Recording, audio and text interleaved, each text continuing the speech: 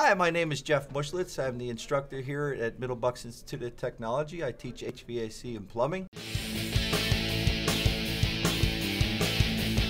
In the HVAC plumbing program, your mechanical dreams can be realized. You will be instructed on heating and cooling systems, plumbing systems, and applications that are done in residential construction areas. After the first year here, students are allowed to follow the HVAC or plumbing programs. I personally learned a lot from the HVAC and plumbing programs, and also HVAC and plumbing is associated with colleges such as Penn College of Technology, Thaddeus Stevens, and Williamson Free School of Trade.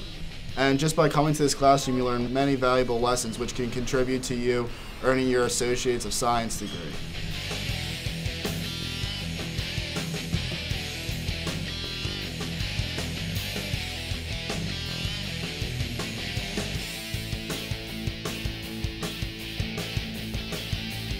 What I like about HVAC is all the lab work, all the hands-on activities, and the student bill house and the new certifications that we get.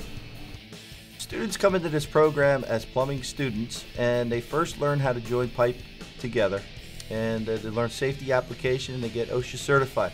Along with obtain many certifications such as the Air Conditioning Contractors EPA certification, the Home Builder certification, and the North American Technician Excellence certification.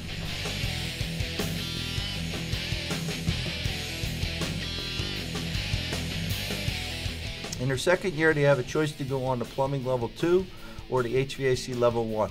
In plumbing level 2, they learn how to install fixtures and appliances. In HVAC 1, they learn the basic operations of heating systems.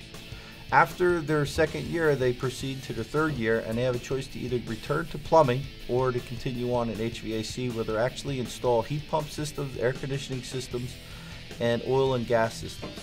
We also work in a student built house every year from January 1st through March 1st, and we are installing all the plumbing rough-in, all the HVAC rough-in, and our sprinkler system. It's a great opportunity for students to get the aspects of how the real world works, and you get an opportunity to get your hands dirty, to drill holes, and to do soldering. Uh, it's a great future for you, and your dreams can be realized here at Middle Bucks Institute of Technology, and I hope to see you in the future.